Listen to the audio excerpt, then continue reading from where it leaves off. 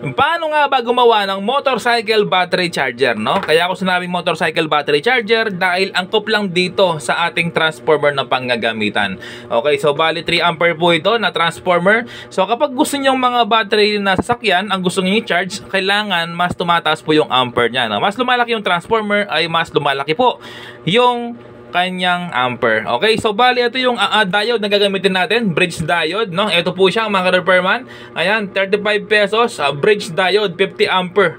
Ayan, no? 50 ampere. Yung maximum niya ay 1000 volts, no? Napakalakas po ito, napakaganda, oh. 35 volts lang. Heavy duty uh, battery charger po ang gagawin po natin. Okay? So bali unang step ang gagawin natin, lalagyan po ng wire yung apat na 'yan. Ayan, no? So may wire na po. Ito po yung kanyang AC, yung gitna. Ayun, yung AC natin ay gitna, yun po yung pupunta sa transformer. Tapos yung output, ginawa ko na. Ito yung positive, ito po yung negative. Meron naman siya nakapangalan, no? Hindi po kayo malilito.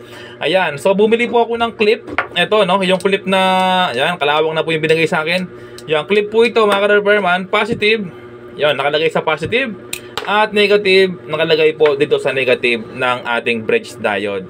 Yun, so bali, ito yung ating AC. No, kaya ako sinabing AC kasi hindi pa siya dumaan ng diode. Okay, so dalawang wire po yan, kahit na magkabaliktad ay okay lang. Ngayon, kung meron kayong tatlong wire na transformer, no, kung meron kayong tatlong wire na transformer, ito lang yung kukunin ninyo. So halimbawa, ito yung tatlong transformer, no?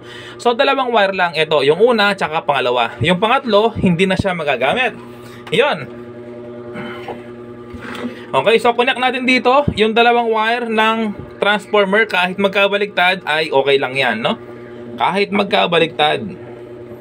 Basta wag lang magkakadikit. Ayun. Kabila. So, yan po. Tapos na, no? So, ngayon lalagay natin yung ilalagay natin yung capacitor, no? So, capacitor mga repairman, ilalagay natin ito. No, meron tayong nakita Yon, 35 volts, 5,600 microfarad. So kahit 200 to, uh, kahit na 2,200 lang ng microfarad, no, kahit ganito pwede naman, no? 25 volts, 407 uh, 4,700 microfarad, uh, farad, okay lang, no? 2,200 microfarad, okay lang din. Yon. So bali ito ang ilalagay natin. Ayan, no? So, connect natin dito sa ating uh, bridge diode, no? Sa positive, negative. So, ito po yung positive natin. So ilalagay ko po ito sa positive. Ito yung positive, yung walang pangalan. Negative, ito. No, yung may nakasulat na negative. Yan, positive, ito. Yan, ilalagay po dito sa mismong bridge diode kung saan nakalagay yung positive natin no, na output. Yan. Yung may nakasulat kanina. Ayan. Tapos, negative naman, ilalagay po dito. No? Mas maganda kung inangin nyo, binubulo ko lang para mas mabilis po tayo. Ayan, negative, So yun po, tapos na no, yung ating motorcycle battery charger. Ayan, pwede mo nang pang negosyo to no sa mga ba, ano, kahit pang kurenting isda na battery, okay lang to no. Ayun. So bali subukan natin yung output, kung ilan ba yung output na kaya niyang ilabas. Ayan, subukan natin ni spark mga repairman. Ayan no. Ayan, so output test natin. I-select natin ng 50 volts DC. Ayan, test natin kung ilang output, no? Mas maganda kung 15 volts para sa 12 volts battery. Ayan, nakaselect tayo ng 50 volts sa DC. Tapos, ito yung ating 50 volts.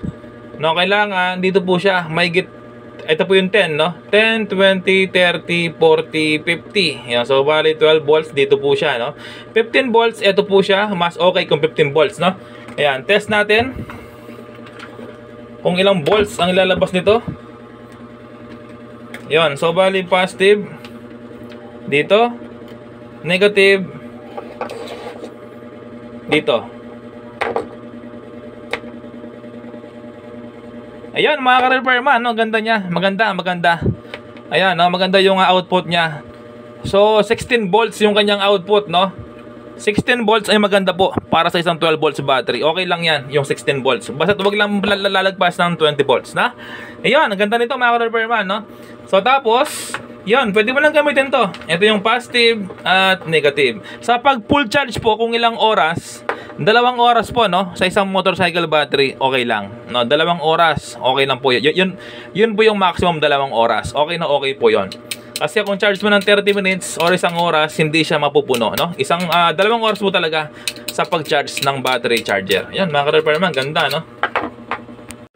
Meron ko lang idadagdag, yan, pwede mo siyang ilagay ito, no? Yung kanyang heatsink sa kanyang diode para hindi uminit, no? So, ang diode, lahat po ng diode ay umiinit po yan. So, mas maganda kung ilalagay mo siya dito. Lalagay mo ng screw, yon no? Heavy duty po ito. Kahit magdamagan, okay lang, no? Yon, so bali, yon. Tapos, screw mo dito, yan, ganda nito, mga repairman, no?